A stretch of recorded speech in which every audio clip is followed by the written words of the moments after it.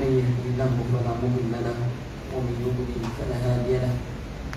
أشهد أن لا إله إلا الله وأشهد أن محمدا عبده ورسوله. قال الله سبحانه وتعالى قالوا سبحانك لا علم لنا إلا ما علمتنا إنك أنت العليم الحكيم. قال رب اشرح لي صدري ويسر لي أمري واحلل عقدة من لساني يفقه قولي. وقال النبي صلى الله عليه وسلم فإن أصدق الحديث كتاب الله. وخير الهدي محمد صلى الله عليه وسلم. وشر الأمور محدثاتها وكل محدثة ضلالة وكل ضلالة في النار. أو كما قال النبي صلى الله عليه وسلم أما بعد. Tuan-tuan yang dirahmati Allah Subhanahu wa taala. Alhamdulillah bersyukur kepada Allah. Pada hari ini dapat bersama-sama lagi untuk kita teruskan uh, kehidupan kita ya, untuk salat sebagai hamba Allah Subhanahu wa taala pada hari ini salat fardu Jumaat kita. Dan kita mendengar khutbah pada tengah hari ini dan diikuti dengan salat fardu Jumaat. Sedikit uh, tazkirah kita tentang mati Allah Subhanahu wa taala pada tengah hari ini. Mudah-mudahan beri manfaat kepada kita. Iaitu tentang mati Allah Subhanahu wa taala. Tajuk tengah hari ini untuk kita fikirkan sama-sama. Ada tiga benda. Pertama berkaitan dengan waliullah siapa dia siapakah yang dipanggil wali Allah Subhanahu wa taala yang kedua dia panggil wara dan yang ketiga zuhud. So tiga benda ni secara ringkas nak bagi mudah faham kepada kita semua nama Allah. Saya ambil pertama sekali zuhud dengan wara kemudian kita pergi kepada uh, siapa di wali Allah. Kata Imam Ibn Qayyim rahimahullahu taala dia mendengar uh, Ibn Taymiyah rahimahullah ta'ala bercerita berkaitan dengan dengan zuhud dan wara' zuhud ni kata Syekh Islam az-zuhud tarku ma la yanfa' fil akhirah zuhud ialah meninggalkan sesuatu yang tidak beri manfaat pada diri dia untuk uh, di akhirat kelak benda yang tak beri manfaat pada dia pada dekat akhirat ditinggalkan itu dia panggil zuh, zuhud. Kedua nama Allah wara'. Wara' kata ulama tarku ma takhafu dararuhu fil akhirah. Meninggalkan satu perkara yang mana ditakuti mudaratnya pada individu itu dekat akhirat. Jadi di situ jelas perbezaan di antara zuhud dengan wara. Kalau zuhud meninggalkan benda yang tidak beri manfaat pada dia dekat akhirat, adapun wara ialah meninggalkan sesuatu yang kebarangkalian boleh beri mudarat kepada dia dekat akhirat. Zuhud nama Allah Subhanahu wa taala misal kata Orang tak boleh kata kalau orang kaya ni eh, dia bila dia pakai kereta besar, kenderaan besar, oh dia tak zuhud. Kita lihat saja sebagai contoh nama Allah Subhanahu wa taala Nabi Sulaiman alaihi salam. Dan juga apa ni Nabi Daud alaihi salam. Dalam Al-Quran menjelaskan Nabi Daud dan Nabi Sulaiman ialah Nabi Sulaiman lihat saja dia punya dia sebagai seorang raja yang memiliki kekuasaan yang uh, ialah harta yang melimpah ruah dan juga uh, keistimewaan mukjizat yang Allah berikan kepada Nabi Sulaiman. Tapi dalam masa yang sama Allah nyatakan Nabi Daud dan Sulaiman ini dua-duanya adalah orang yang zuhud. Di situ menunjukkan nama Allah Subhanahu Wa Taala bukan kekayaan yang kita pamerkan tadi yang kita ada tadi untuk menghalang kita menjadi zuhud. Abdul Rahman bin Auf, Osman bin Affan sahabat-sahabat Nabi yang lain yang berharta yang berduit Allah yang kita kata kaya tidak menghalang untuk mereka menjadi zuhud ha, kadang-kadang pemikiran kita masyarakat kita zuhud ni kena hidup dalam keadaan yang apa? Yang sed, mana sederhana. Pakaiannya pun ala kadar je. Oh tu zuhud. Tidak semestinya dalam hati Allah. Kalau tidak masakan Nabi sallallahu alaihi wasallam kita katakan uh, disebut nama Allah apa ni dalam al-Quran khuzu zinatakum inda kulli masjid wa la tansa nasibaka minad dunya ha, ambil perhiasan kamu bila nak pergi ke masjid apa ni jangan tinggalkan hal dunia. Wala tansa nasibaka minad dunya jangan kamu tinggalkan bahagian kamu dekat dunia. Dan banyak lagi nama Allah Subhanahu wa taala ayat-ayat yang lain. Adapun wara meninggalkan sesuatu yang barangkali boleh memudaratkan dia. Ataupun kita katakan memang boleh mudarat. Jadi setiap kali kita meninggalkan sesuatu yang boleh mudarat pada kita Maka mudarat kita kat mana? Mudarat kat atas kita di akhirat. Memang confirm benda tu memudaratkan kita dekat akhirat Ataupun kebarangkalian dia boleh beri mudarat pada kita. Ha, Contoh mana Contoh saya bagi contoh. Kita duduk borak Kadang-kadang borak-borak ni dah termasuk dalam dalam majlis mengumpat orang, menghina orang. Kita tahu dah mengumpat, menghina, mencaci apa semua itu adalah haram. Maka mimbabil wara' daripada bab wara' itu kita tinggalkan majlis tersebut. Kita tahu dah apa ni mengumpat itu memang haram dan bagi mudarat kita dekat akhirat sebab kita join sekali. Dan satu lagi membaca Allah Subhanahu wa taala kebarangkalian. Ha, dia tak yakin. Hak yang ini benda-benda yang syubhah. Al halal bayyinun wal haram bayyinun wa ma bainahuma mushtabihat. Fattaqu syubhat. Halal jelas, haram jelas. Di antara kedua-duanya ada yang sama-sama maka jauhlah kamu daripada perkara yang syub syubhat maka meninggalkan yang syubhah yang tidak diketahui secara jelas maka itu dipanggil wara. Ha, jadi tuan-tuan yang dirahmati Allah Subhanahu wa taala dalam wara ada zuhud dalam apa ni zuhud ada tak ada warak. Ya, ataupun terbalik saya tak ingat dia punya ada kata-kata ulama nama macam Allah Subhanahu wa taala. Dia kalau ingat nanti saya beritahu. Di antara dua lah nyatakan ha, dia dia am dengan khas tadi. Apa pun nama macam Allah Subhanahu wa taala jangan sampai kita kata apa ni bukanlah apa ni warak tadi nama Allah ataupun warak dia katakan bukanlah meninggalkan apa perkara yang halal. Ha, yang halal dia tak tinggalkan.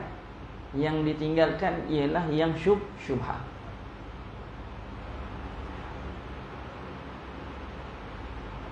Ada ke apa ni kita kata kalau dah jelas eh, kita kata dah dia tak nak walaupun dah halal katakan dah ada cop jakim apa semua contohlah tapi dia masih ragu mengatakan adakah itu dia anggap sebagai benda syubhah?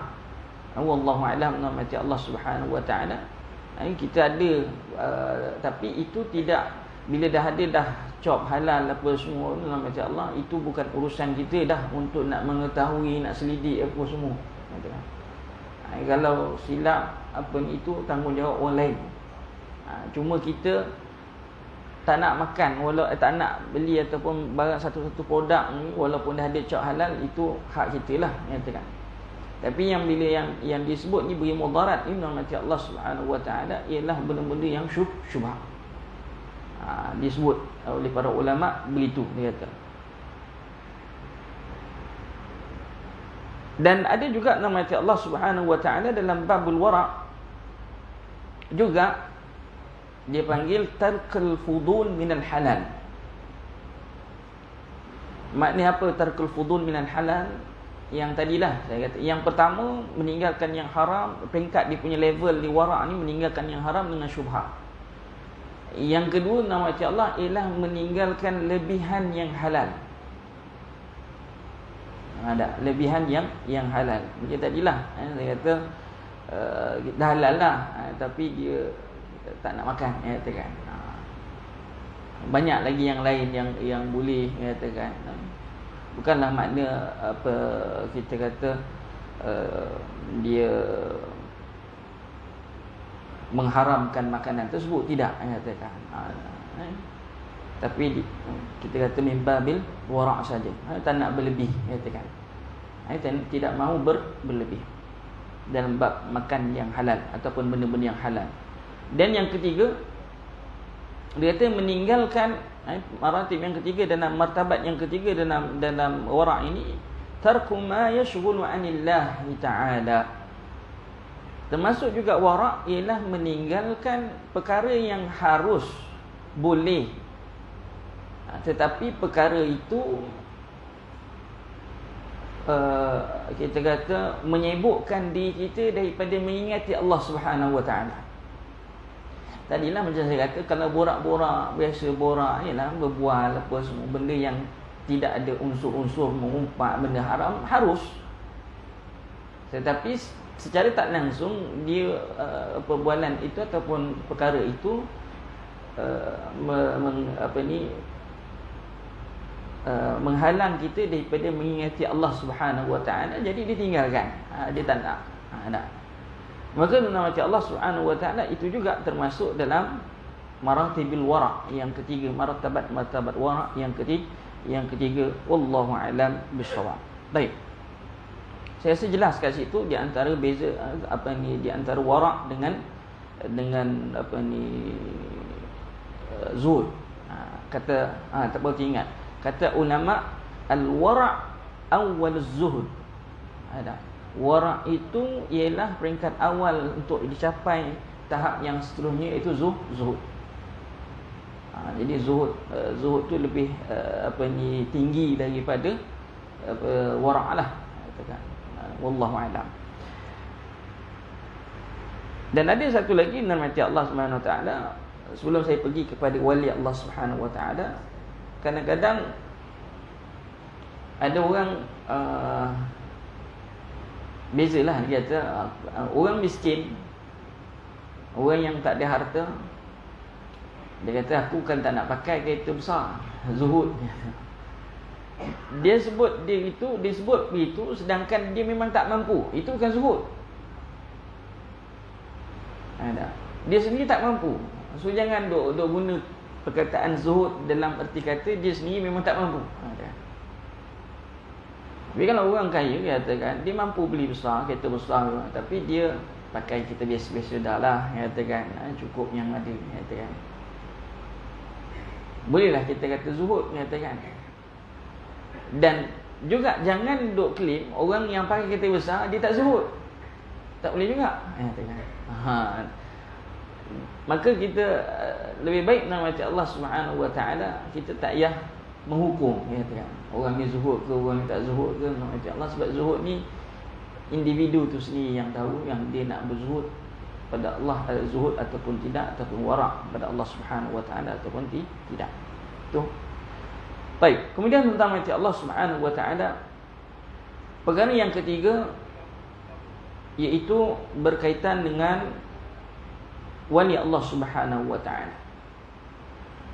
Hari ini bila sebut je nama wali Allah macam-macam tafsiran di sisi masyarakat. Oh, wali Allah mesti karamah, ada karamat. Karamah. Karamahnya apa ni yang seperti mana yang dia cerita-ceritakan lah boleh terbang boleh berada pada satu tempat uh, satu-satu tempat boleh berada pada dua tempat dalam masa yang singkat Eh, zuhur kat uh, zuhur kat sini Mekah kan asar kat Mekah ha, tak. jasad kat sini semayang kat Mekah. Tak. Oh tu wali ya kata. Adakah itu wali Allah Subhanahu wa taala? Ha ni kita kena faham baik-baik. Siapakah dia wali Allah Subhanahu wa taala yang sebenar-benarnya?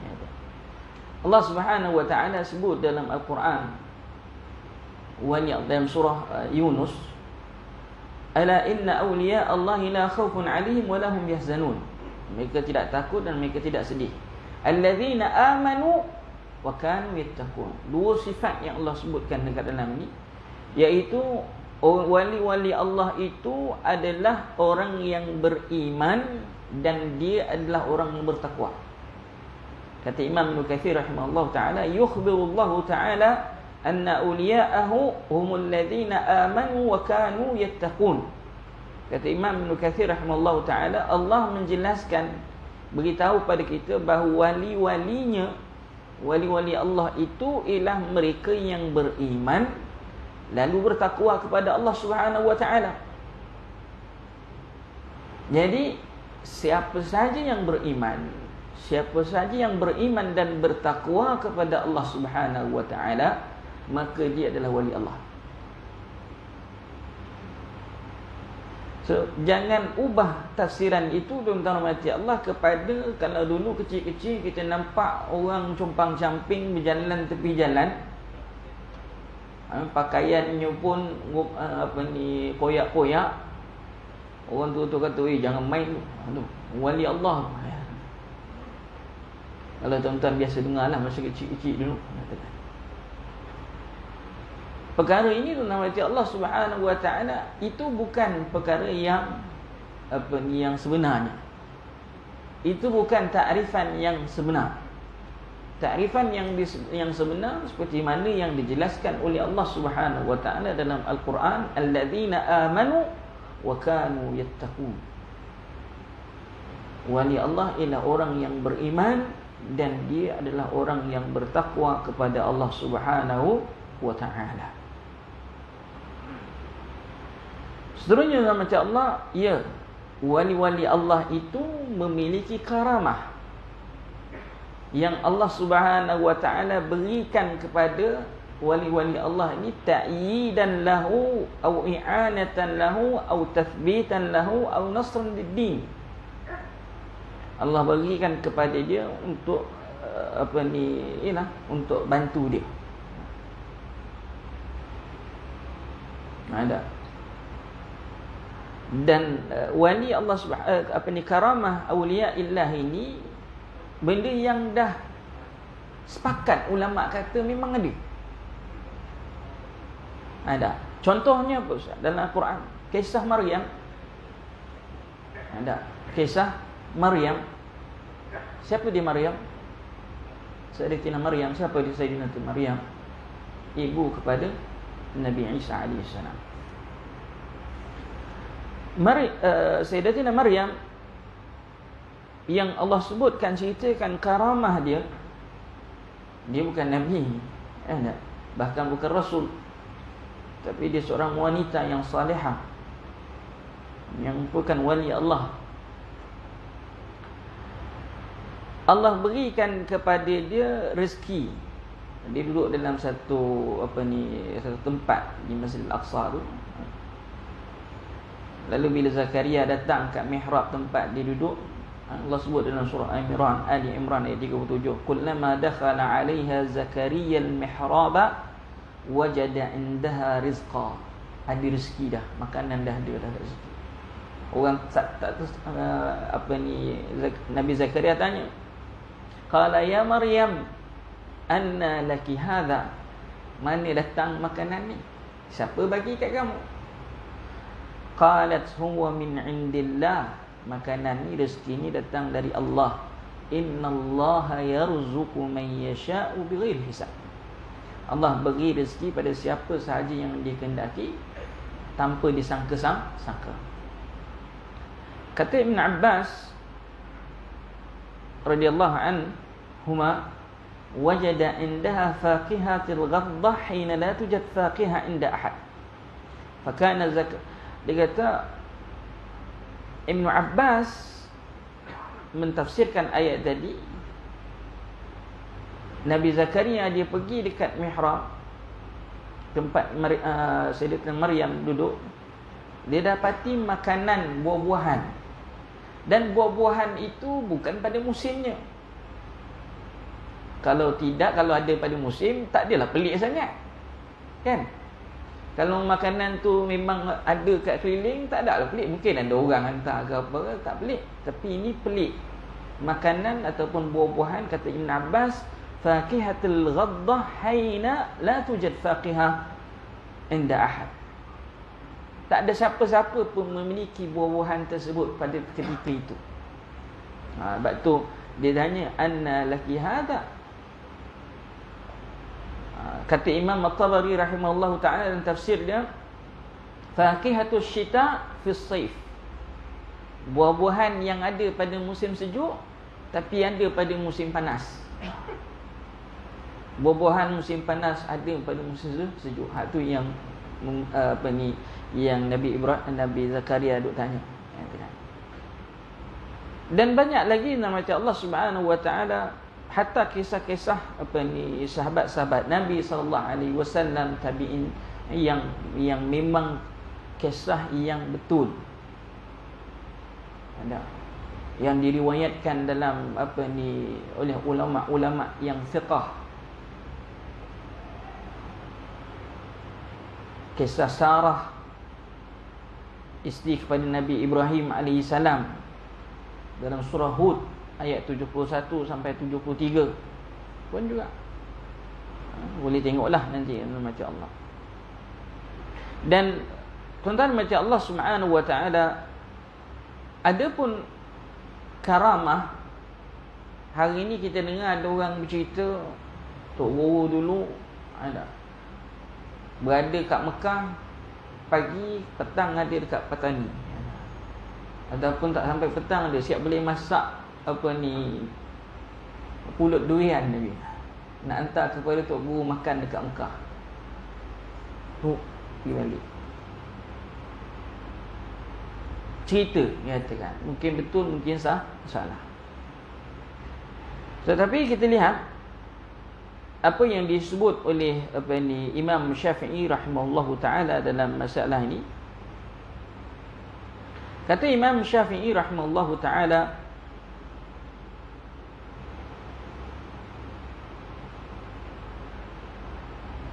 Imam Syafi'i dia sebut apa siap eh katakan. Saya tak hafal dia punya kata-kata dia. Imam Syafi'i rahimahullah taala berkata dalam saqaf eh, dalam tabaqat Syafi'iyah jika kamu melihat seorang berjalan di atas air atau terbang di udara jangan terpedaya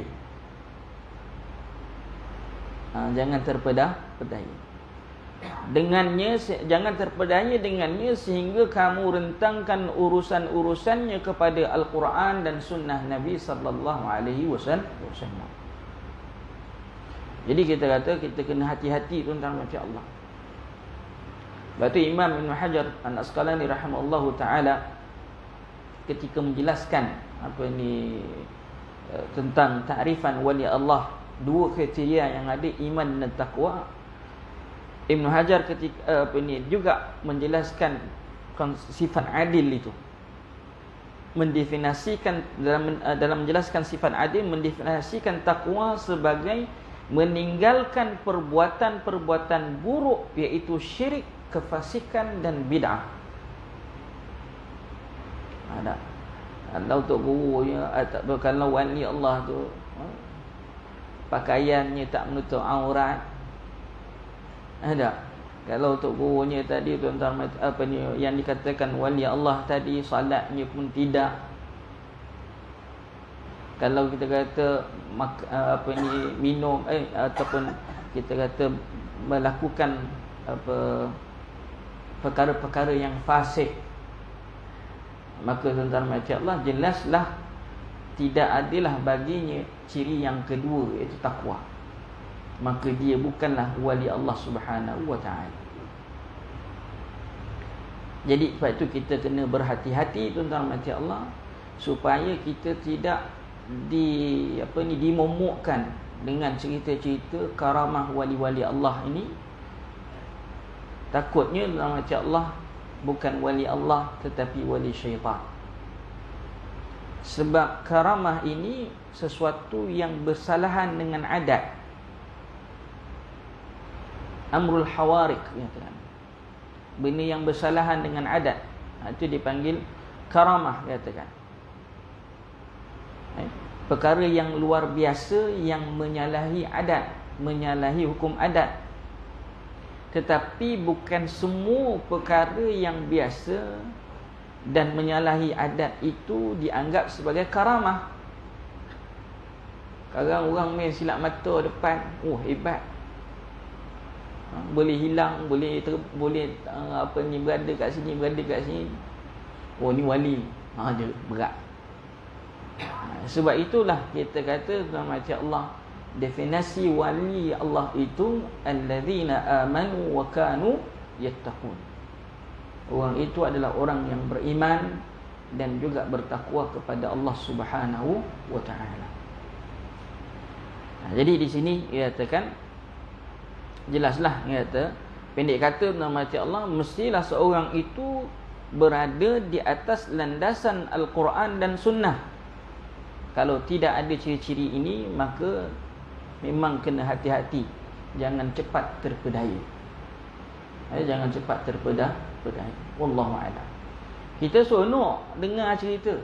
Ha, cerita tu memang seronoklah kalau orang cerita kan apa ini tapi nama Allah Subhanahu wa taala eh, jangan sampai kita terpedah terpedaya ada wallahu alam eh, jadi itu ditonton yang dirahmati Allah Subhanahu wa taala eh, sedikit perkongsian eh, daripada tengah hari ini moga-moga nama Allah Subhanahu wa taala dapat beri kepada kita pemahaman apa yang dipanggil wara apa yang dipanggil zuhud siapakah yang dipanggil wali-wali Allah Subhanahu wa taala Sesiapa saja boleh ha, memiliki sifat zuhud, siapa saja boleh memiliki sifat wara' tak kira dia orang alim, orang berharta, orang miskin maupun orang kaya.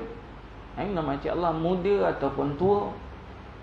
As long kita kata dia memiliki ciri-ciri yang saya sebutkan tadi, boleh saja dia menjadi zuhud, boleh saja dia menjadi wara' dan boleh juga dia menjadi wali Allah Subhanahu wa taala. Dan pastinya bila menjadi wali Allah maka orang itu adalah dicintai oleh Allah Subhanahu wa taala. Maka bila jadi wali Allah seorang itu tuan-tuan macam Allah bila dia sampai tahap wali Allah yang mana tadi saya kata alladzina amanu wa kanu yattaqun apa sahaja yang dilakukan adalah mendapat hidayah dari Allah Subhanahu wa taala. Maka di sinilah ada sebahagian kadang-kadang mendakwa eh, dia ni wali-wali Allah, dia ni wali Allah, dia ni wali Allah sampai satu peringkat eh, dia dah kita kata menyebabkan orang macam apa ni tidak kisah dah. Apa sahaja yang disebut semuanya pakat betul belaka walaupun bersalahan dengan sunnah. Ha, jadi kita kena ingat takrifan asal balik dari nama Allah alladzina amanu wa kanu yattaqun dan yang disebut oleh Imam Ibn Hajar Al-Asqalani rahimahullahu taala. Jangan sampai dikatakan yang dikatakan wali Allah itu apa ni konon-konon didakwa wali Allah tetapi amalannya bersalahan dengan Al-Quran dan sunnah Nabi sallallahu alaihi wasallam. Wal billah min dzal min dzal. Jadi saya rasa cukup eh, setakat tu saja tentang macam Allah yang sempat eh, saya kongsikan dengan tuan-tuan pada tengah hari ini mudah-mudahan tuan-tuan dan macam Allah Subhanahu Wa Taala uh, dapatlah eh, pencerahan sedikit mudah untuk jadi bekalan kepada kita semua. Setakat itu saja kita akhiri dengan bacaan tasbih kafarah subhanakallahumma bihamdika asyhadu an la ilaha illa anta wa astaghfiruka wa atubu ilaik. Assalamualaikum warahmatullahi wabarakatuh.